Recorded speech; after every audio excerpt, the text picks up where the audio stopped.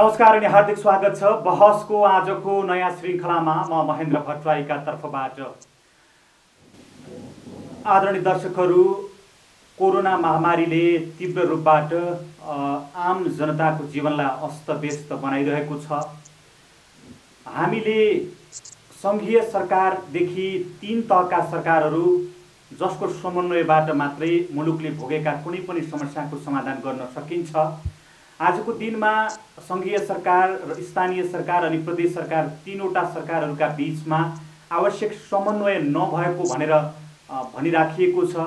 खास गरी स्थानीय सरकार र सङ्घीय सरकारले आफ्नो तर्फबाट भूमिका जुन निर्वाह गर्नु पर्थ्यो त्यो गरिरहेकै देखिन्छन्। तर प्रदेश सरकार जो बिचमा छ उसको भूमिका यसमा त्यति प्रभावकारी देखिएको छैन। यद्यपि जुन समस्या नेपाली जनताले आज बेहोरिएका छन्। यद्यपि कोरोना महामारीको यो समस्या नेपाल मात्रै होइन विश्वका कैयन देशहरू आजको दिनमा तीव्र प्रभावित छन्। छिमेकी भारतमा पनि यसको हाहाकार चलिरहेको छ। र खास गरी नेपालको आजको अवस्था आउनुमा छिमेकी भारतसँग जोडिएका ठाउँहरू जो भारत र नेपालका बिचमा लामो समयदेखि हामी सिमाना खुल्ला अवस्थामा रहेका छौँ। र भारतमा दोस्रो भेरिएन्टले प्रभाव जमाउने बित्तिकै नेपालमा पनि त्यसको असर पर्यो र नेपाली जनता त्यसको प्रताडनामा परेको सहजै बुझ्न सकिन्छ। विज्ञहरूका अनुसार अझै केही समयसम्म यो समस्या भोग्नुपर्ने छ। खास गरी काठमाडौँ उपत्यका र तराईका जिल्लाहरूमा यसको प्रभाव तीव्र रूपबाट बढ्दै गएको छ। त्यसमा पनि खास गरी मध्यपश्चिमको नेपालगञ्ज सबभन्दा ठुलो हटस्पटका रूपमा रहेको छ र पूर्वका अरू सहरहरू ब्रिगन्ज विराटनगर लगायतका सहरहरू पनि यसबाट अति प्रभावित हुँदै गएका छन्। आजको बहसको यो कार्यक्रममा हामी देशको दुईवटा मुख्य सहरका मेयरसँग संवाद गर्नेछौँ। वीरगञ्ज महानगरपालिकाका प्रमुख विजय सरावगी र नेपालगञ्ज उपमहानगरपालिकाका प्रमुख डाक्टर धवल शमशेर राणा हाम्रो सिधा सम्पर्कमा हुनुहुन्छ। यहाँहरू दुवैजनालाई हार्दिक स्वागत छ हाम्रो कार्यक्रममा। धन्यवाद नमस्कार। नमस्कार सबै दर्शकवृन्दहरूलाई मेरो नमस्कार अभिवादन।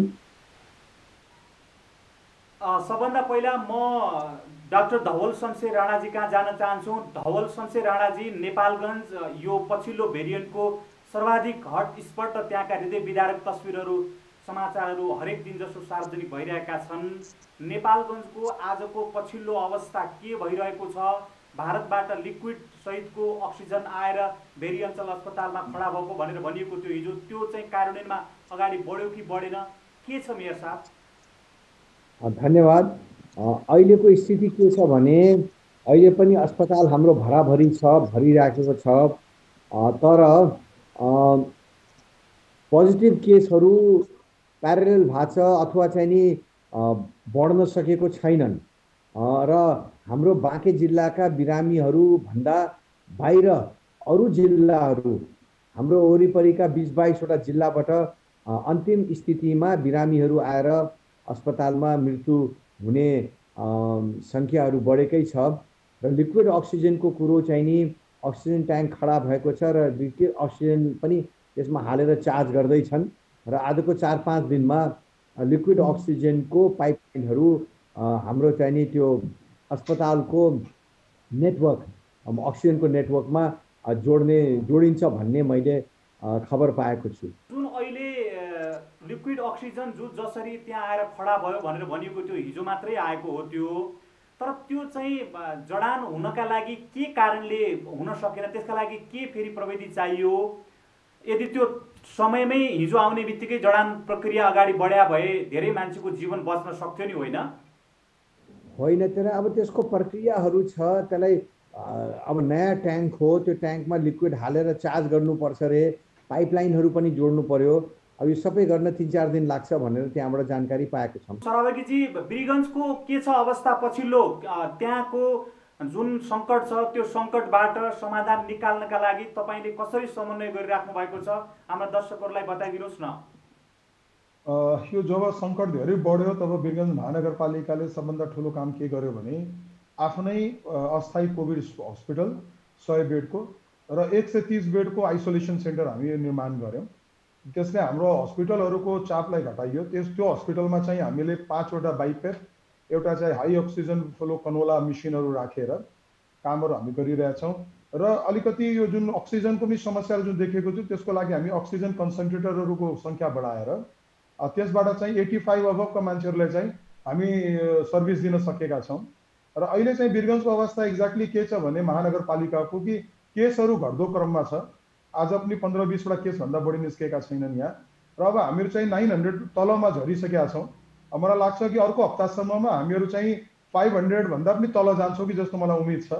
हो एउटा समस्या के देखिएको छ भने यहाँ पनि हस्पिटलहरू अहिले पनि भरिभराउ छन् आइसियु र भेन्टिलेटरको डिमान्ड बढी छ र मान्छेहरूको जुन मोर्टालिटी रेटहरू छ अलिकति बढी नै छ। करिब सयजना यदि सङ्क्रमित निस्किरहेछ भने पन्ध्रजनाले हस्पिटलाइज गर्नुपर्ने अवस्था छ।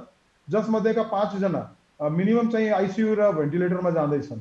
यो अवस्थामा चाहिँ हामी गुज्रिरहेका छौँ। अक्सिजनको जुन पहिला समस्याहरू थियो त्यो हामीले अलिकति मेन्टेन गरेका छौँ। वीरगन्जको अवस्था कस्तो छ भने यहाँबाट आसपासको सबै ठाउँमा अक्सिजन सप्लाई भइराखेको छ र वीरगन्ज आफै एउटा क्षेत्रीय ठाउँ छ जस्तो नेपालगञ्जको मेयर साहबले भन्नुभयो बिस बाइसवटा जिल्लालाई उहाँहरूले क्याटर गरिराख्नु भएछ। त्यस्तै वीरगन्ज महानगरपालिकाले पनि महोत्तरीसम्मका मरिजहरूलाई चाहिँ सङ्क्रमितहरूलाई चाहिँ यहाँ चाहिँ हामीले उपचार गर्नुपर्ने अवस्था छ। वीरगन्ज महानगरपालिका अहिले फ्री अक्सिजन घर घरमा हामी दिइ नै राखेका छौँ। फ्री औषधिहरू हामी दिइरहेका छौँ फ्री एम्बुलेन्स सर्भिस र सौवाहनहरूको सर्भिसेसहरू दिइरहेछौँ। अहिले नै नारायणीलाई दुई तिन दिनभित्रमा हामी भेन्टिलेटरहरू दिइरहेछौँ चारवटा। यो तरिकाले हामीहरू केही केही कुराहरूलाई मेन्टेन गर्न प्रयास चाहिँ गर्दैछौँ। यहाँले चाहिँ अत्यन्तै सुखद समाचार सुनाउनु भयो घट्दो क्रममा सङ्क्रमितहरू भेटिरहेका छन् भनेर भन्नुभयो घर घरमा अक्सिजन पनि बाँडिरहेको समाचार सुनाउनु भयो यो अत्यन्तै एउटा सुखद सञ्चारले मानिसहरूलाई आशावादी बनाउनेछ। तर आजको दिनमा सर्वत्र जताततै अक्सिजनको अभाव छ। नेपालगञ्जमा पनि अक्सिजनको अभाव छ। जो लिक्विड अक्सिजन आएको छ त्यो जोड्न सकिएको छैन। ब्रिगन्जमा तपाईँले अक्सिजनको अभाव के कस्तो छ? अक्सिजनको जुन माग छ त्यसलाई कसरी आपूर्ति गरिराख्नु भएको छ पुरा गरिराख्नु भएको छ? यो आठ दस दिन अगाडिसम्म हामीलाई अक्सिजनको अलिकति समस्या भएको थियो। पछि हामी के गर्यौँ भने जति पनि इन्डस्ट्रीहरू जसले अक्सिजन प्रयोग गर्छ इन्डस्ट्रियल प्रयोगमा सबै इन्डस्ट्रीका हामीहरू चाहिँ सिलिन्डर्सहरू ल्याएर त्यसलाई भर्ने कामहरू चाहिँ द्रुत गतिमा गऱ्यो चौबिसै घन्टा तिनटै प्लान्ट चलाएका छ। अनि हामीलाई चाहिँ अहिले आएर अलिकति कम्फर्टेबल पोजिसनमा हामी छौँ। किनभने जुन डिमान्डहरू पहिला एकदमै एक्सेसिभ आइरहेको थियो त्यो अहिले छैन। मतलब हामी कन्ट्रोल वेमा अहिले हिँडिराखेका छौँ। अब योभन्दा बढी सङ्क्रमितहरू बढेको भए त साथ हामीलाई पनि धौधौ पर्थ्यो। तर अहिले सङ्क्रमितहरू घट्दो क्रममा भएको हुनाले अलिकति हामीले कम्फर्टेबल पोजिसनमै हामी पुगेका छौँ। डाक्टर धवल शमशेर राणा कहाँ जान चाहन्छु म? राणाजी यो अहिले नेपालगञ्जको जुन एउटा चाहिँ अप्ठ्यारो परिस्थिति छ नेपालगञ्जले सम्पूर्ण देशको ध्यान केन्द्रित गरेको छ। जस्तो ब्रिगन्जबाट एउटा नयाँ अलिकति सुखद समाचार त्यहाँको मेयर साहबले सुनाउनु भयो। अब नेपालगञ्जलाई नियन्त्रणमा लिनका लागि सङ्क्रम सङ्क्रमितहरूको सङ्ख्या घटाउनका लागि मृत्युदर घटाउनका लागि मानिसको जीवन बचाउनका लागि आजको दिनमा कसले के गरिदिनु पर्ने हो? तपाईँ त्यहाँको स्थानीय प्रतिनिधि हुनुहुन्छ जनप्रतिनिधि हुनुहुन्छ। तपाईँलाई के के आवश्यकता छ? कसले के गर्नु पर्यो अब यसमा मैले भन्न पर्दाखेरि नेपालगञ्ज र अथवा बाँकेको सङ्क्रमितहरूको मृत्युदरको सङ्ख्या घट्दैछ र चाहिँ नि सङ्क्रमितहरू प्यारलमै छन् बढाए पनि छैनन् घटेको पनि खासै छैन। तर मृत्यु हुने चाहिँ नि मैले भनिहालेँ नि वरिपरिका बिस बाइसवटा जिल्लाबाट अन्तिम स्टेट स्टेटमा स्थितिमा यहाँ हाम्रो नेपालगञ्जमा आइपुग्छन् र उनलाई फेरि बचाउन गाह्रो हुन्छ। अक्सिजनको चाहिँ नि दुईवटा फ्याक्ट्री यहाँ छ हाम्रो नगरपालिकामा। दुईवटा फ्याक्ट्री चौबिस घन्टा चल्छ तर अक्सिजन यहाँ मात्रै होइन फेरि त्यही बिस बाइसवटा जिल्लामा पुर्याउनु पर्ने हुन्छ। धेरै लामो लाइन विभिन्न जिल्लाबाट अक्सिजनहरू लिन आएको गाडीहरूको हुन्छ। र अब यहाँ लिक्विड अक्सिजन आइसकेपछि तिन चार दिनमा अलिकति स्थिति चाहिँ नि काबुमा अक्सिजनको विषयलाई लिएर हुनेछ। अब अब मृत्यु दरको कुरो चाहिँ नि यहाँ हाम्रो बाँकी जिल्ला भन्दा पनि अब बाहिरका जिल्लाहरू पाहाडतिरबाट आउने क्रम जारी नै छ। र जहाँसम्म मैले जानकारी पाएको छु अलि दिनसम्म यो स्थिति रहनेछ। र यहाँ सङ्क्रमित र मृत्युको सङ्ख्या चाहिँ नि बाँकेमा बिस्तारै घट्ने ट्रेन्ड चाहिँ नि अब दुई चार दिनमा अब सुरु हुन्छ भन्ने हामीले अनुमान गरेको छौँ। राणाजी अहिले यो जुन तपाईँले अरू जिल्लाहरूबाट पनि मानिसहरू आइरहेका छन् भनेर जुन भन्नुभयो नि त्यस हिसाबले हेर्दा जस्तो नेपालगञ्ज आफैमा तपाईँको चाहिँ एउटा केन्द्र हो पहाडी जिल्लाहरू त्यस वरिपरिका जिल्लाहरूको। यो यो पहाडतिर त्योभन्दा माथि जस्तो कर्णाली समेतका बिरामीहरू नेपालगञ्जमा आउने गर्छन्। कहाँ कस्तो सङ्क्रमण दर सङ्क्रमण दर चाहिँ कहाँ कस्तो भइरहेको छ तपाईँको विचारमा? अब गाउँ गाउँतिर पहाडतिर पनि सङ्क्रमण गइसकेको छ। त्यो रेडियोले पनि भनिरहेको छ गाउँका गाउँ प्रभावित भइरहेको छन्। त्यस कारणले अब नेपालगञ्जले अलि दिन यो विभिन्न जिल्लाबाट सङ्क्रमित आउने कुरालाई खेप्नै पर्ने हुन्छ र आइसोलेसन केन्द्रहरू हामीले थप्दैछौँ नगरपालिकाको अक्सिजन सिद्धको आइसोलेसन छ। दुई तिनवटा अरू वार्ड वार्डमा पनि आइसोलेसन छ। हामीले इन्डियाबाट आउने सङ्क्रमितहरूलाई एम्बुलेन्समा हालेर विभिन्न जिल्ला युनिसेफको सहयोगमा पठाइराखेका छौँ र बाँकीलाई चाहिँ नि त्यही भन्सारबाट अथवा नेपाल गेटबाटै बसमा हालेर विभिन्न जिल्ला हामी होम आइसोलेसनमा पठाइदिन्छौँ। त्यो सबै अब बोर्डरमा त करिब करिब कन्ट्रोलै छ। कहिले हजार कहिले डेढ हजार अहिले पनि नेपाली दाजुभाइ दिदीबहिनीहरू बोर्डर क्रस गर्छन्। र मानवीय रूपले हामीले यो कुराले लिनपर्छ। त्यहाँ ज्वरोको जाँच त्यो फिभर गनले र सङ्क्रमित देखिएकालाई हामी एन्टिजेन टेस्टहरू गरेर उहाँहरूलाई अब सङ्क्रमितलाई अलग र चाहिँ नेगेटिभ भएकालाई अलग्गै गरे गरेको छौँ। अलि दिनमा यो बिस्तारै अब बानी पनि परिसक्यो र जनताले पनि कुरा बुझिसक्यो र यसलाई बिस्तारै यसलाई कन्ट्रोल गर्ने क्रममा अगाडि बढ्छ होला सबै स्थितिहरू जस्तो लाग्छ। यहाँले इन्डियाबाट आएका मान्छेहरूको सन्दर्भमा कुरा गर्नुभयो। अब लामो समयदेखि होल्डिङ सेन्टर बनाएर इन्डियाबाट आएका मान्छेहरूलाई होल्डिङ सेन्टरमा राखेर उहाँहरूको एन्टिजेन अथवा पिसिआर टेस्ट गरेर पोजिटिभ नेगेटिभ छुट्याएर मात्रै उहाँहरूका बारेमा डिसिजन गर्ने भनेर सरकारले यद्यपि पहिलो चरणको लहरमा जुन यो भएको थियो त्यो बेला गरे पनि थियो। अहिले त्यस्तो के छ?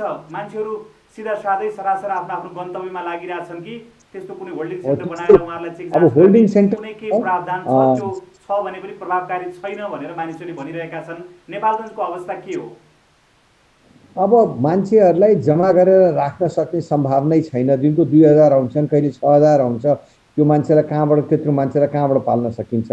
तर हामीले प्राथमिक टेस्ट अथवा चाहिँ स्क्रिनिङ गरेर कोभिड पोजिटिभ र नेगेटिभलाई छुट्याएर हामीले पोजिटिभलाई चाहिँ नि एम्बुलेन्समा हालेर आफ्नो आफ्नो जिल्ला पठाइदिने गरेको छौँ।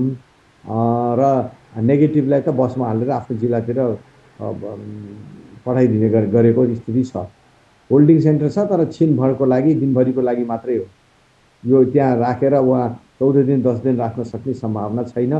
तर अब अहिले सरकारले हजारजना अट्ने होल्डिङ सेन्टर बनाउने योजना अगाडि सारेको छ। हेरौँ त्यो कस्तो चल्छ कस्तो बन्छ विजय सरावेगीजी म तपाईँको आएँ कि यो जुन भारत र नेपालको खुल्ला सिमानाका कारणले जुन सुरुवाती चरणमा यो दोस्रो भेरिएन्ट जुन सर्वाधिक वृद्धि भएको भनेर भनिएको छ पछिल्लो पटक चाहिँ यो खुल्ला सिमानाबाट उताबाट नेपाल प्रवेश गर्ने मान्छेहरू जो नेपाली नै पनि उता भएकाहरू आइरहेका छन् उहाँहरूलाई जस्तो अघि मैले धवल शमशेर राणाजीलाई सोधेँ कि त्यहाँ होल्डिङ सेन्टर अब चेक जाँच गर्ने त्यो कतिको प्रभावकारी छ? के भइरहेको छ? अब वीरगञ्ज महानगरपालिकाको आफ्नो ठाउँ हेर्ने हो जम्मा पन्ध्र किलोमिटर ओपन बर्डर हो।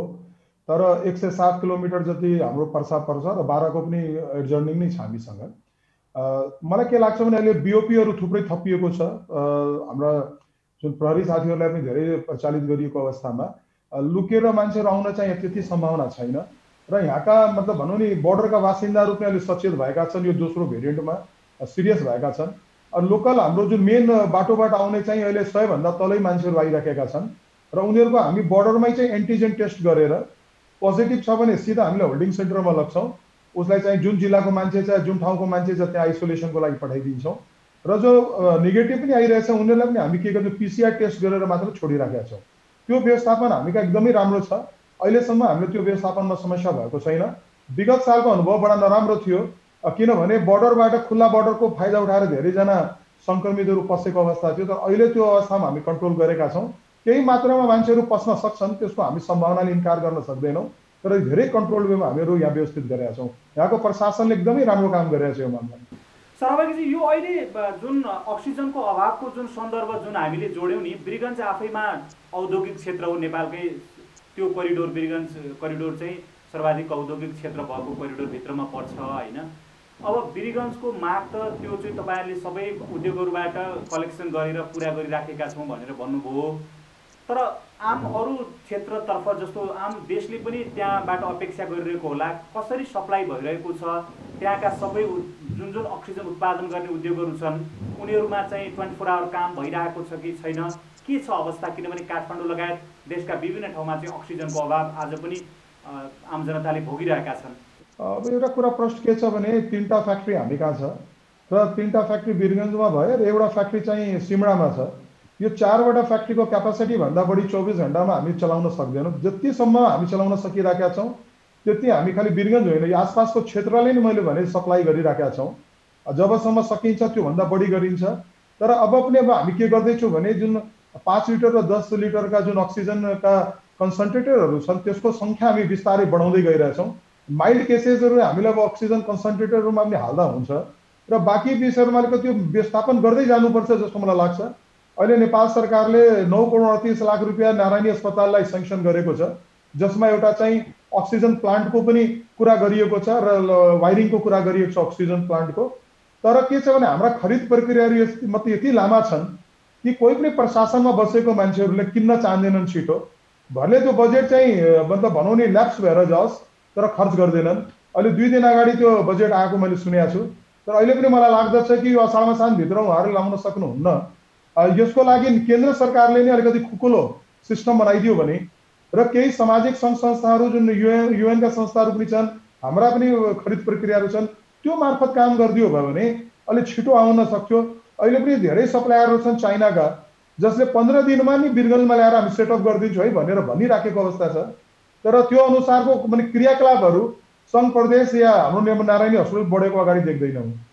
धवल राणाजी यो जुन अब अहिले सङ्घीयताको पहिलो चरणको कार्यान्वयन चलिरहेको छ स्थानीय सरकार अनि प्रदेश सरकार केन्द्र सरकार तपाईँहरूले यो स्थानीय तहको सरकारको भूमिका तपाईँले निर्वाचन गरिराख्नु भएको छ। सङ्घीयताको पहिलो कार्यान्वयनको पहिलो चरणमै यो प्रकारको महामारी भोग्नु पर्यो। यस हिसाबले चाहिँ स्थानीय सरकार आफ्नो जिम्मेवारीमा कतिको खरो रूपमा उत्रिए। तपाईँहरूले किनभने यो जिम्मेवारी आइपऱ्यो तपाईँहरूका काँधमा अचानक। तपाईँहरूले आफ्नो भूमिकाप्रति सन्तुष्ट हुनुहुन्छ अथवा स्थानीय तहलाई अझ अधिकार सम्पन्न बनाउने अथवा कसरी गर्ने? तपाईँहरूको के विचार छ यसमा? अब यो तहको सरकार जुन सिस्टम लागू भएको छ हाम्रो संविधानले त्यो असफल भएको छ स्थानीय सरकारहरूले यो महामारीमा धेरै राम्रो काम गरेको छन् देशव्यापी रूपमा र अहिले स्थानीय सरकारहरू नभए के हाल हुन्थ्यो? प्रदेश र सङ्घ सङ्घीय सरकार त हराएको जस्तो छ। बल्ल बल्ल बल्ल अब सङ्घले भेरी अस्पताललाई आर्थिक सहयोगहरू गरिरहेको छ भनेको मैले थाहा पाएको छु अब प्रदेशको त अब यहाँ नाम निशानै छैन। र यो यो तिन तहको सरकारमा स्थानीय तहको सरकारलाई अधिकार दिएको जस्तो पनि छ र त अधिकार आफ्नो हातमा सँगले राखेको पनि छ। जबसम्म अधिकार प्रयोजन प्रयोजन राम्रोसित हुँदैन र स्थानीय सरकारलाई सदस्य सचिव अथवा कार्यकारिणी अधिकार अधिकृत आफै छनौट गर्न दिँदैन तबसम्म यो सङ्घको कन्ट्रोलबाट यसलाई मुक्ति पाइँदैन। म यहाँ मेयर भएको चार वर्ष हुन लागेको पाँच छवटा छवटा कार्यकारिणी अधिकृतहरू प्रमुख कार्यकारिणी अधिकृतहरू एउटा कार्यकारिणी अधिकृतलाई स्थानको स्थानीय सरकारको कुरालाई बुझ्न कम्तीमा छ महिना लाग्छ। ऊ बुझ्दा बुझ्दा उसको ट्रान्सफर प्रदेशले गर के अरे सङ्घले गरिदिन्छ।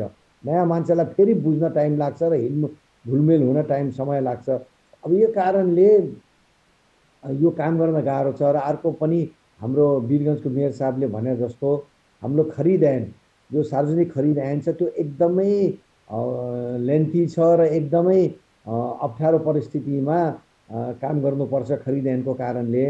काम छिटो हुँदैन काम छरितो हुँदैन काम प्रभावशाली हुँदैन र एकदमै बिलो टेन्डर हाल्ने मान्छेहरूलाई पनि दिनपर्ने बाध्यता हुन्छ। त्यहाँ पछि त्यो बिलो हालेको टेन्डर हालेको ठेकेदारले कामै गर्दैन भाग छ। हामी बेवस भएर त्यसैलाई दिनुपर्ने हुन्छ। यो सबै यो टोटल ओभरअल जबसम्म हाम्रो खरिद ऐन को नियमावली र यो कानुन चेन्ज हुँदैन यो देशमा विकास हुन धेरै ठुलो बाधा यो खरिद ऐनले बुना बनाएको छ। यहाँले एउटा गम्भीर कुरा गर्नुभयो प्रदेश सरकारको उपस्थिति नाम निशाना कतै छैन भनेर भन्नुभयो। त्यत्रो तपाईँको सत्ताको फेरबदल गठ के अरे तपाईँको गठजोड चलिरहेको छ। तपाईँकै प्रदेशमा पनि लुम्बिनी प्रदेशमा तपाईँको एउटा पक्षले अर्को पक्षलाई पराजित गर्नका लागि गठजोड चलिरहेको छ। उहाँहरूकै बुटोलमा आफ्नो मन्त्रालय मन्त्रालयमा मात्रै सीमित हो। तपाईँले कहिले पनि समन्वय कुनै छलफल मुख्यमन्त्रीकोसँग यसो गरौँ उसो गरौँ भनेर तपाईँहरूलाई कुनै सुझाव सल्लाह सहयोग काहीँ केही पनि पाउनु भएन। उताबाट केही आउँदैन। हामीले कहिले कहिले फोन गर्छौँ अब ओठे आश्वासन चाहिँ नि आइरहन्छ। ए मात्रै आश्वासन मात्रै अरू चाहिँ तपाईँको बजेट सजेट यताउता केही पनि छैन। केही पनि छैन दिन्छौँ भन्छन् र उताबाट कहिले कुनै पहल हुँदैन। हामीले फोन गर्दाखेरि अब मैले भनिहालेँ नि आश्वासन दिने काम भएको छ अहिलेसम्म आश्वासनै पाछौँ विजय सराबगीजी तपाईँले कसरी भोगिराख्नु भएको छ? स्थानीय तह जुन सङ्घीयताको नेपालको संविधानले तिन तहको सरकारको परिकल्पना गर्यो। त्यसअनुसार चाहिँ हामी पहिलो चरणमा कार्यान्वयनमा छौँ यो पहिलो चरणकै बेलामा यहाँहरूले यत्रो ठुलो जिम्मेवारी निर्वाह गर्नु पनि आइपर्यो विगत एक एक डेढ वर्ष अगाडिदेखि कोरोना महामारी झेलिराखेको स्थिति छ। यसमा तपाईँले कसरी त्यो भूमिका निर्वाह गरिराख्नु भएको छ? तपाईँलाई खड्किरहेको के छ? यो पुगेन यसो भएको भए अझ राम्रो काम गर्न सकिन्थ्यो भन्ने के छ तपाईँको भनाइ? यसमा हेर्नुहोस् म धवलजीको कुराबाट एकदमै सहमत छु पहिला त। र यो जुन हाम्रो संविधानले जुन परिकल्पना परिकल्पना गरेको छ तिनटै तहको सरकारको त्यो हिसाबको प्र्याक्टिसेस अहिले छैन। केन्द्रले अहिले पनि सिडिओ साहबहरूले नि पत्याउनुहुन्छ राम्रो छ उहाँले पत्याइराख्नु भएछ उहाँले विचार गरि पनि राख्नु भएको छ। तर उहाँ जनप्रतिनिधि होइन कि? जनप्रतिनिधिले नै वास्तविकमा आफ्नो संस्थाबाट नि लिड गर्न सक्छ। किन जनताको सरकार भनेको त यहाँको लोकल पालिका नै हुन्छ। अर्को कुरा प्र्याक्टिसमा के देखियो भने वीरगञ्ज महानगरपालिका होस् या हाम्रो धवलजीको नेपालगञ्ज होस् हामीले चाहिँ क्षेत्रीय हिसाबले भोगिराखेका छौँ कि सबै कुराहरूलाई। हामीसँग जुन डायलग हुनु पर्थ्यो केन्द्र र प्रदेशबाट कि यसलाई कसरी मेन्टेन गर्नु छ त्यो किसिमको डायलग आजसम्म भएको छैन। र अर्को हामी कुनै पत्र पठायो भने दुइटै सरकारहरूलाई त्यसको जवाब कहिले पनि आउँदैन वान वे ट्राफिक जस्तै छ। र यो अहिले पनि उहाँहरूले स्वीकार गर्न सक्नु भएको छैन कि स्थानीय पालिकाहरूले नै गर्नुपर्छ भनेर सबैले भन्छन्। स्थानीय पालिकाले गरेर दिएको पनि छ। तर कुराकानी गर्दाखेरि बजेटको कुरा गर्दाखेरि या केही विषयमा यस्ता विषयमा छलफल गर्नु पर्यो भने त्यस्तोमा केही छैन। मैले विगतको अनुभवबाट एउटा के सुझाव दिएको थिएँ भने एउटा सय बेडको चाहिँ एटलिस्ट हामीहरू चाहिँ प्रिफ्याबको एउटा हस्पिटल बनाऊ जहाँ सङ्क्रमितहरूलाई राखेर सघन उपचारहरू हामी गर्न सक्छौँ। महानगरपालिकाले एक करोड रुपियाँ छुट्यायो पनि त्यसको लागि। बाँकी पैसाको लागि दुइटै सरकारले लेखेर पठाएको र पत्रको जवाबसम्म छैन। तर जब टाउकोमा आइहाल्छ आगो लागेपछि दमकलको टेन्डर गर्ने एउटा बानी छ क्या हामी कहाँ त्यो धन्दामा एकदम हामी खप्पिस छौँ। अब किन उनीहरू किन उहाँहरूले चाहिँ हामीले विश्वास गर्न सक्नु भएन हामीलाई थाहा छैन। जबकि उहाँका पनि प्रतिनिधिहरू जनतैबाट चुनिएर गएका छन् हामी पनि जनतैबाट चुनिएका छौँ र तिनटै सरकारले एउटै जनताको लागि काम गर्नु छ भने त्यो जनप्रतिनिधि जनप्रतिनिधिको बिचमा यो किन सम्बन्धहरू बन्न सकिराखेका छन्? के आफ्ना आफ्ना स्वार्थ छन् कि? अहिले वीरगञ्ज महानगरपालिका अब चाहिरहेछ कि आफ्नो जनताले म खोप दिलाउन चाहन्छु। ल यसमा कमसेकम केन्द्रले फेसिलिटेट गरिदियोस् नि। यहाँ जनता तयार छ। सत्तर पर्सेन्टभन्दा बढी जनताले पैसा तिरेर पनि खोप लगाउन तयार छ। तर हाम्रा काम कारवाही यस्ता छन् अहिले। यो सबै मतलब कुराहरूको अनि गर्ने कुनै निकाय नै छैन। न गर्न चाहन्छन् त्यसको कारणले गर्दा अहिले पनि हामी ब्याकफुटमा छौँ र जनता अनाहकमा मरिरहेछ। ज जसले दुईवटा खोप लिइसक्यो। त्यो सबै बाँचिराखेको छ एकदम आरामले बाँचिराखेको छ। सिङ्गलले पनि लिएको अलिअलि डर त भएको थियो। तर मलाई के लाग्छ म्याक्सिमम् खोप लिने मान्छेले गाह्रो भएको छैन। अब सारा व्यवस्थापन हामीले गरिदिनु पर्ने दुई सय तिस बेडको आइसोलेसन र कोभिड हस्पिटल खोलिसकेपछि एउटा सिङ्गो पैसा कहीँबाट पनि कुनै सरकारले दिएको छैन। जबकि जुन ठाउँमा पैसाहरू गइरहेछ त्यहाँ युज गर्न सक्ने क्यापेसिटी छैन। उनीहरूले सबै बजेटहरू ल्याप्स गरेर पठाइराखेका छन्। तर हामी माग गर्दाखेरि हामीले अनुरोध गर्दाखेरि कसैले पनि टेरेको छैन। यसबाट के प्रश्न हुन्छ भने सङ्घ र प्रदेशले आफ्नै मेकानिजमबाट काम गर्छ। स्थानीय तहको माग माइमा भनेको कोही पनि छैन। हामीले आफै आफ्नो सक्षमता बढाउनु पर्छ र हामी गरिरहेछौँ। यदि मार्किङ दिने हो भने हामी आफ्नो क्षमताको पाँच सय प्रतिशतभन्दा बढी काम गरेका छौँ। कुनै पनि क्षेत्र यस्तो बाँकी छैन जसमा वीरगञ्ज महानगरपालिकाले काम गरिरहेका छैन। त्रिपन्न प्रतिशत जनता वीरगञ्ज महानगरपालिकाको हामी सेवा गरिरहेछौँ र सैँतालिस पर्सेन्ट जनताहरू अन्य पालिकाहरूको छन्। अब यस्तो ठुलो भार हामी थेगेर कति दिनसम्म बाँच्ने थाहा छैन र सङ्घ प्रदेश सरकारको यस्तो कुनै पनि किसिमको अहिले पनि कुराहरू आएको छैन। म फेरि सम्पर्कमा आउनेछु यहाँहरूसँग संवादमा जोडिन्छु। एउटा छोटो विश्राम लिन्छु दर्शकहरू नेपालगञ्ज उपमहानगरपालिकाका मेयर धवल शमशेर राणा र वीरगञ्ज महानगरपालिकाका मेयर विजय सराबगी हाम्रो आजको बहसमा हुनुहुन्छ। एउटा छोटो विश्राम लिन्छु त्यस पछाडि उहाँहरूसँग फेरि जोडिनेछु।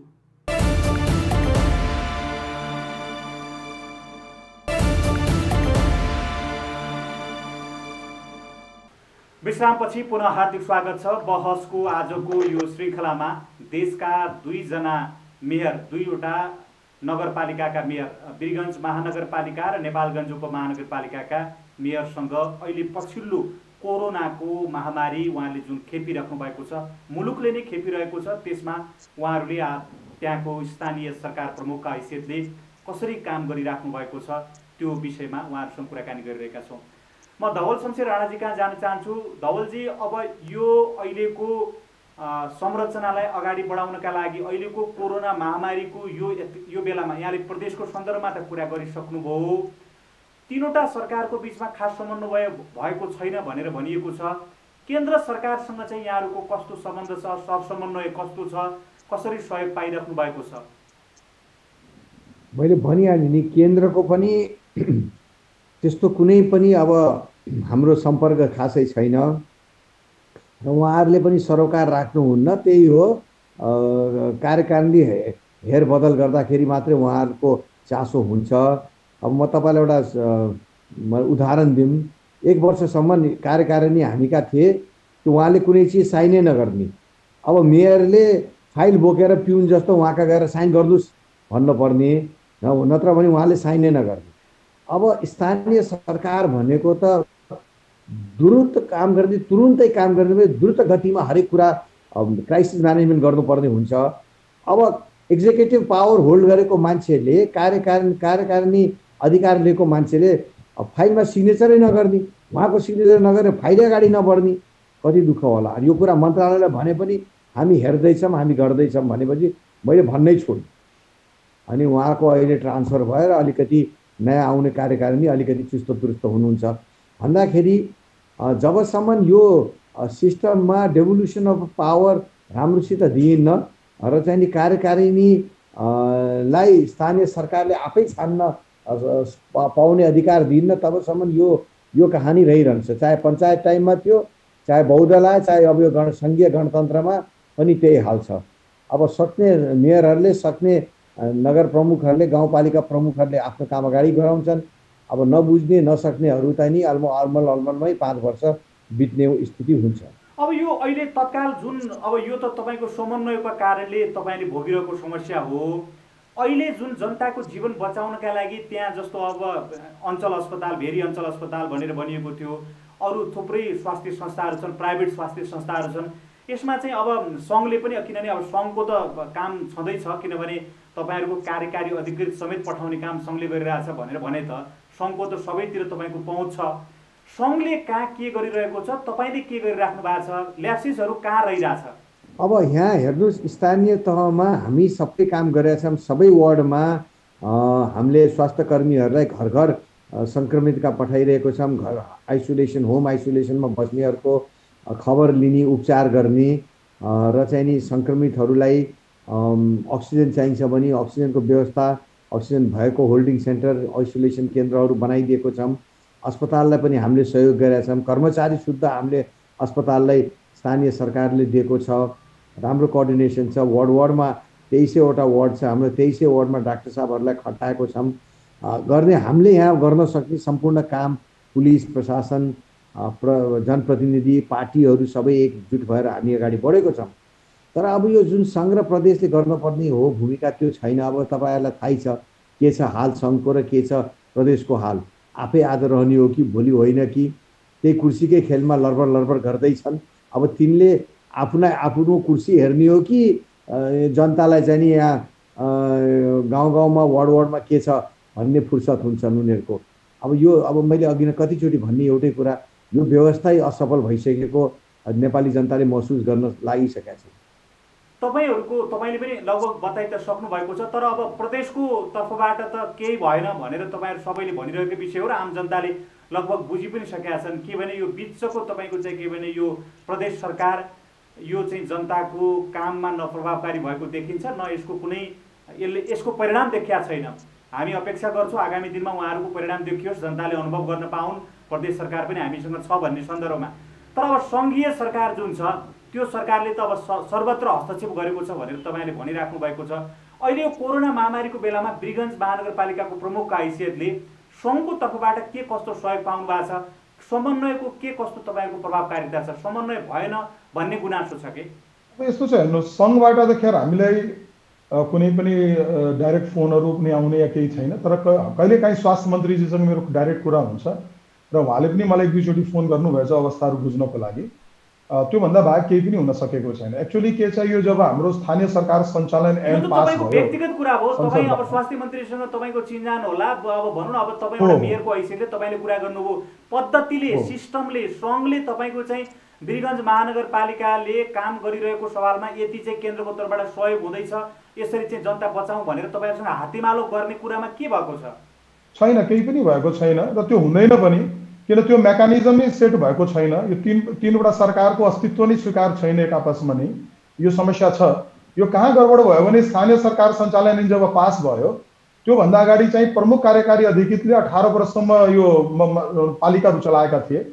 त्यति बेलासम्म जुन अधिकृतहरूलाई जुन पावरहरू पाएको थियो हामी आउन बित्तिकै त्यो सबै स्थानीय सरकार सञ्चालन ऐनबाट काट्ने काम चाहिँ भयो। जबकि देशमा प्रथम या प्रत्यक्ष निर्वाचित भन्ने हो भने हामी मेयरहरू नै यो पालिका प्रमुख उपप्रमुख नै हो जो प्रत्यक्ष निर्वाचित छन् तर हाम्रा अधिकारले यति कुण्ठित र काट्ने कामहरू भएको छ। अहिले पनि यदि प्रमुख प्रशासक अधिकृत र लेखापाल यहाँ नभयो भने कुनै काम चल्दैन। इभन बिचमा चाहिँ हाम्रो प्रमुख प्रशासक अधिकृतज्यूको बढुवा भइसकेको थियो एक महिना उहाँ हुनुहुन्थेन या कोही पनि सिटमा। त्यति बेला एक हजार पनि खर्च गर्ने अवस्था महानगरपालिकाको थिएन र त्यति बेला यो चालु भइसकेको थियो यो समस्याहरू। अब यस्तो पङ्गु बनाएर जुन ढङ्गले जुन राखिएको छ नि पालिकाहरूलाई र सारा झगडा हामीले नै टाउकोमा राखिदिएको छ अहिले। सारा जनताको घर दैलोको काम हामीले नै गर्न भनिदिएको छ भने कमसे कम यस्तो पङ्गु बनाएर राख्ने काम चाहिँ यो संविधानले चाहिँ परिकल्पना गरेको थिएन र यो स्थानीय सरकार सञ्चालन एकदम त्रुटिपूर्ण छ। जसलाई छिटोभन्दा छिटो सच्याउनुपर्छ र तिनटै सरकारको आफ्नो डिमार्केसनहरू क्लियर गरेर कामहरू गर्न सकिएन भने आउने दिनहरूमा यस्ता विपदहरूलाई हामीले भनौँ नि मतलब डटेर मुकाबला गर्न बडा गाह्रो हुन्छ। यो त पशुपतिनाथको देश हो हामी बाँचिराखेका छौँ अहिलेसम्म। न त यो ढङ्गको पद्धति फेलियर पद्धतिको रूपमै अब पालाइन्छ आउने दिनहरूमा र जनताले वास्तवमा धवलजीले भनेअनुसार कुनै न कुनै दिन यसको विरुद्धमा आवाज उठाउने स्थिति। तपाईँहरूलाई हस्तक्षेप गरेको छ भनेर भन्न खोज्नु भएको हो। एकदम। भने चाहिँ स्थानीय सरकारले जुन अधिकार प्राप्त गरेको थियो संविधान त त्यो पनि कार्यान्वयन गर्न पाइरहेको छैन उसले। छैन त्यो खालि भनेको मात्र हो सिंहदरबारको अधिकार पालिका पालिकामा गयो भनेर गाउँ गाउँमा गयो भनेर तर त्यो सिंहलाई कहीँ न कहीँ बाँधेर राखिएको छ। अब यो जुन केन्द्रीकृत शासनको जुन पद्धति पहिलादेखि चलिराखेको आएको छ र त्यो मानसिकता जुन अहिले छ त्यो अहिलेसम्म सकिएको छैन। संविधान त सबै कुरा राम्रो छन् बोलेका पनि राम्रै छन् तर अहिले कार्यान्वयनको हिसाबले पनि कमजोर छ र यो स्थानीय सरकार सञ्चालन नै त्रुटिपूर्ण छ र जुन ढङ्गले हामीलाई पङ्गु बनाइएको छ नगर प्रमुख र उपप्रमुखहरूलाई त्यो अलिकति शोचनीय विषय छ। हामीहरू महानगरपालिका भन्छौँ आफूलाई तर महानगरपालिकाको अनुसारको न हामीसँग फिलिङ छ हामी त्यो हिसाबले काम गर्न सकेका छौँ। हुन त हामी सुरुदेखि नै अलिकति अपहित छौँ। मधेसका जति पनि बाइसवटा जिल्ला छन् अब चाहिँ केही विकास हुन्छ भने हामी प्रदेशमाथि बढी निर्भर छौँ। पक्कै नै प्रदेशहरू केही गर्ला भनेर हामी पनि सोचिराखेका थिए। तर त्यो मेकानिजम अहिले पनि सेट हुन सकेको छैन। हरेक कुरा खानापूर्तिको हिसाबले चलिरहेका छ र आउने दिनहरूको लागि राम्रो सुखद कुराहरू होइन। सरबागीजी अब अहिले तत्काल तपाईँहरूले चाहिँ यो कोरोना महामारीबाट जनताको जीवन बचाउनका लागि गर्न चाहेको कुरा के के थियो? जो चाहिँ यो विद्यमान संरचनाका कारण तपाईँले गर्न पाउनु भएन तपाईँलाई उल्झन भयो। कहाँ कहाँ के के भयो भन् भनिदिनुहोस् न। हेर्नुहोस् के छ भने जति पनि यहाँ व्यवस्थापन भइरहेछ त्यो व्यवस्थापनमा चाहिँ कमसेकम हामीसँग सहकार्य सबैले गरिदिएको भए राम्रो हुन्थ्यो। कुन ढङ्गले उनीहरूले हामीलाई यस्तो रिसोर्सहरू दिन सक्छन् कुन ढङ्गले काम अगाडि बढाउन सकिन्छ हामी एकदम अँध्यारोमा छौँ। हो उहाँहरूले जब समस्या भइरहेछ केन्द्र र प्रदेशका प्रतिनिधिज्यूहरूलाई उहाँहरूले हामीले कल गर्छन् बोलाउँछन् मिटिङ डाक्छन् हामीसँग सहयोग पनि माग्छन् हामी गरि पनि राखेका छौँ। म उहाँहरूलाई दोष दिँदैन उहाँले पनि एक प्रकारले अराइएको हुन्छ काठमाडौँबाट या प्रदेशबाट यसरी यसरी गर्नुहोस् भनेर। उहाँहरूले त्यो अनुसारले आफ्ना कर्तव्य पुरा गरिराखेका छन्। उहाँहरूले कुनै समस्या छैन कि हामीले गरौँ या उनीहरूले गरोस्। तर जबसम्म त्यो डिमार्केसन्स क्लियर हुँदैन यो वास्तवमा कसले हेरिदिनु कसले गरिदिने हो खालि हामीले चाहिँ बस सङ्कट मोचनको हिसाबले हामी काम गरिराख्ने हो भने कहिले पनि त्यसको रिजल्टहरू आउँदैन। रिजल्ट प्लानिङले आउँछ। त्यो प्लानिङ कसैले पनि आजसम्म दिन सकेको छैन। स्थानीय निड स्थानीयको आवश्यकताको हिसाबले हामीले अगाडि बढ्नुपर्छ कहीँ कम हुन्छ कहीँ बेसी हुन्छ। कुन ढङ्गले कन्ट्रोल हुनसक्छ? हाम्रा भनौँ न यहाँका जनताले हामी कुन ढङ्गले अगाडि राम्रोसँग सुविधाहरू दिन सक्छौँ? मानवीय क्षति कैसे कति कमभन्दा कम हामी गराउन सक्छौँ? त्यो विषयमा अलिकति हामीले पनि इन्भल्भमेन्ट गराइदिएको भए राम्रो हुन्थ्यो। कार्यविधिहरू भनेका छन्। मैले योभन्दा अगाडि पनि भनेको थिएँ कि जुन यो हस्पिटल बेस कार्यविधि बनेको छ कि पन्ध्र हजार सात हजार र साढे तिन हजार दिने। कुनै पनि प्राइभेट हस्पिटल यसमा किन आउन चाहँदैन भने उनलाई त्यति पैसाले पुग्दै पुग्दैन। जुन बेला पुरै हस्पिटल भरिएको छ उनीहरू तयार हुन्छन्। तर जुन बेला भनौँ अक्युपेन्सी मरिजहरूको पच्चिस पर्सेन्ट तिस पर्सेन्ट दस पर्सेन्ट झर्छ भने उनलाई त्यो चलाएर फाइदा छैन and they are going to close यो स्थितिमा दिगोपन भएन। दिगोपन हुँदैन भने त चल्दैन। यसको लागि चाहिँ स्थानीय पालिकाले यदि जिम्मा दिएको भए हामी कुनै न कुनै सेन्टरलाई दिगो रूपले चलाइ पनि दिन्थ्यौँ र राम्रो ढङ्गले यसको रिजल्टहरू आउँथ्यो। यहाँ त त्यो गर्नुभन्दा पनि साटो नगरपालिकाले जुन खर्च गर्यो अब हामीले त कुनै कसैले बताउँदैन कुन कुन फार्म भर्नुपर्छ। हामी खर्च गऱ्यौँ यति रिम्बर्समेन्ट हुन्छ भनियो पनि तर समयमा त्यो पैसाहरू दिएन। अरू अरू ठाउँमा पठाइयो तर वीरगञ्ज महानगरको पैसा आजसम्म पठाइएको छैन। तिन करोड रुपियाँ एकमुस पठाइदियो सुरुमा। त्यसपछिबाट हाम्रो जुन खर्चहरू भयो अहिले पनि आउन बाँकी छ। त कहीँ न कहीँ विभेदको कुराहरू कहीँ न कहीँ अविश्वासको कुराहरू इभन यिनीहरू स्थानीय सरकारले पनि अविश्वास गरेको अवस्थामा यो कसरी यो सिस्टम चल्छ सहकार्य कसरी चल्छ समन्वय कसरी हुन्छ सहकार्य कसरी हुन्छ यी विषयहरू चाहिँ अलिकति अब अहिले पनि हामीले गाह्रोमा छौँ। तैपनि म के विश्वस्त छु भने आउने दिनहरूमा अझ संस्थागत हुँदै जान्छ। हाम्रा नेताजीहरूले बढी चाहिँ सत्ताको खेलमै लाग्नु भएछ यो सत्ताको खेलबाट आएर जनताको खेलमा जुन दिन लाग्नुहुन्छ त्यो दिन उहाँहरूले नै सबैलाई रियलाइज हुन्छ कि कहाँ कहाँ हामी चुकिरहेका छौँ। के के व्यवस्थापनमा हाम्रो समस्या छ र म्यानेजमेन्ट देशको राम्रो हुन सकेन भने कुनै पनि सरकार टिक्न सक्दैन दिगो रूपमा र आउने दिनहरूमा जनताको विश्वास पनि व्यवस्थाप्रति कमजोर हुँदै जान्छ। धवल शमशेर राणाजी अहिले अब जस्तो केन्द्र प्रदेशले अब समन्वय गरेका छैनन् यो कुरा यहाँले बताइसक्नु भएको छ। अब यो बार बार दोहोऱ्याउने कुरा भएन। तर आजको दिनमा मा त्यहाँको उपमहानगरपालिकाका हैसियतले तपाईँहरूले गर्न चाहेका कुराहरू के के हुन् जनताको जीवन बचाउनका लागि तत्काल तपाईँले गरिहाल्न खोजेका विषय के थिए जो चाहिँ अहिलेको विद्यमान कानुन संविधान अथवा जुन यो संरचना छ यसका कारणले तपाईँले रोकावट महसुस गर्नु पर्यो र मनले चाहे अनुसार काम गर्न सक्नु भएको छैन जनताको जीवन बचाउनका लागि। अब सबभन्दा पहिले त यो महामारी यत्रो ठुलो मात्रामा सङ्ख्यामा सङ्क्रमित होलान् भन्ने कसैले आकलन गरेको थिएन। पहिलो चरणको महामारी अब होलो भइसकेपछि अलिकति कम भइसकेपछि हामी सबैले एउटा लामो सास लिएर अब यो सिद्धियो भनेर सोचेका थियौँ अनि एकदमै फेरि यो दोस्रो चरणको झन् त्योभन्दा सङ्क्रमित र घातक किसिमले यो अगाडि बढ्यो। र यो हामीले पहिले चा चालिसवटा बेडबाट एक सय अस्सी बेड त्यहाँपछि दुई सय बेड अहिले तिन सय बेड साढे तिन सय चार सय बेड बनाइसक्यौँ पनि यहाँ पुगिरहेको छैन। र अब अहिले गएर भारतमा फेरि खबरहरू आइरहेछ कि तेस्रो लहर ब्ल्याक फङ्गस भन्छ वाइट फङ्गस भन्छ के के सुरु भइसक्यो अरे त्यसको लागि अब त हामी तेस्रो लहरको लागि अब हामी अहिलेबाट योजना बनाएर बाँकी नगरपालिकामा हामी त्यसको तयारी गर्न लागिरहेको छौँ। किनकि अब यसलाई सामान्य रूपले नलिएर तेस्रो लहर साँच्चै आउन सके भने फेरि झन् भए भए होला भन्ने हामी अगाडि बढेको छौँ। र अब केन्द्रले स्थानीय सरकारलाई यो कोभिडसित जुझ्नको लागि विजयजीले भने जस्तो आर्थिक रूपले सबल बनाइदिनु पर्यो। हामीले आफ्नो नियमित बजेटबाट काट्दै काट्दै विकासको बजेट घटाउँदै घटाउँदै हामीले कोभिडमा खर्च गरिरहेको छौँ। किनकि मानिसको जनताको जीवनै विकासभन्दा प्रमुख हो र विकासको कामबाट हामीले पैसा काटेर कोभिडमा लगाइरहेको छौँ। यो कति दिन गर्ने? र कति दिन यो गर्ने र कति दिन फेक्न सक्छौँ? अहिले अब नेपालगञ्ज सहरमा रहेका अस्पतालहरूका सन्दर्भमा जस्तो भेरी अञ्चल अस्पताल छ अरू थुप्रै अरू अस्पतालहरू छन् जस्तो प्राइभेट अस्पताल तपाईँहरूले कुन कुन अस्पतालसँग कसरी समन्वय गर्नुभएको छ? अनि सङ्घको तपाईँहरूको नियन्त्रणमा अथवा तपाईँहरूको समन्वयमा चल्ने अस्पतालहरूको आइसियुको बेड सङ्ख्या कति हो? अनि केन्द्र अथवा सङ्घको सिधा सम्पर्कमा रहेका अस्पतालहरू जस्तो भेरी अञ्चल अस्पताल लगायत उहाँहरू कति हो? कसरी यो चाहिँ अब नियन्त्रण गर्ने त तपाईँको विचारमा? अब जस्तो हाम्रो यहाँ दुईवटा कोभिडको अस्पताल छन्। एउटा चाहिँ अब भेरी अस्पताल र चाहिँ एउटा चाहिँ नि नेपालगञ्ज मेडिकल कलेज। यो दुईवटा अस्पतालले कोभिडको बिरामीहरूलाई हेर्ने गरेको छ।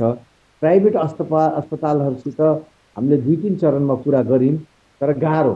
उहाँहरूको बेडको सङ्ख्या पनि धेरै छन् यहाँ प्राइभेट अस्पताल केही नै पनि पच्चिस तिसवटा छन्। तर कसैको दस बेड कसैको बिस बेड कसैको पन्ध्र बेड त्यसमा अरू सङ्क्रमितहरू पनि अरू बिरामीहरू पनि त्यहाँ। फेरि स्पेसियालिटी हस्पिटलमा बच्चाको हस्पिटलमा कोभिड बनाइदिनु भएन। महिलाहरूको हस्पिटलमा स्त्री स्त्रीहरूको हस्पिटलमा महिलाहरूको हस्पिटलमा कोभिड हालिदिनु भएन। अब अर्थोमा कोभिड हालिदिनु भएन। यस कारणले अलिकति समस्या छ। यो दुइटै हस्पिटललाई राम्रोसित हामीले सञ्चालन गर्न सक्यौँ भने हामीले यो कोभिडको बिरामीहरूलाई टेक्न सक्ने स्थिति रहनेछ। समय र संवादका लागि यहाँहरू दुवैजना मेयर साहबहरूलाई धेरै धेरै धन्यवाद छ हाम्रो कार्यक्रममा सहभागिताका लागि। धन्यवाद। साधारण दर्शकहरू उहाँहरू हुनुहुन्थ्यो वीरगञ्ज महानगरपालिकाका मेयर विजय सरावगी र नेपालगञ्ज उपमहानगरपालिकाका प्रमुख धवल शमशेर राणा। उहाँहरूसँग अहिले कोभिड महामारीका कारणले जनजीवन जुन अस्तव्यस्त बनेको छ त्यो सन्दर्भमा तिन तहका सरकार हामीसँग छन् केन्द्र प्रदेश र स्थानीय। त्यसमध्ये स्थानीय सरकारले आफ्नो क्षमताले भ्याएसम्म सङ्घर्ष गरिरहेका छन् जनताको जीवन बचाउनका लागि। बाँकी सरकारहरूको समन्वय के कस्तो भइराखेको छ उहाँहरूले के के समस्या भोगिराख्नु परिरहेको छ त्यो विषयमा केन्द्रित भएर कुराकानी गऱ्यौँ अर्को श्रृङ्खलामा नयाँ विषय र पात्रहरूका साथ फेरि उपस्थित हुनेछौँ।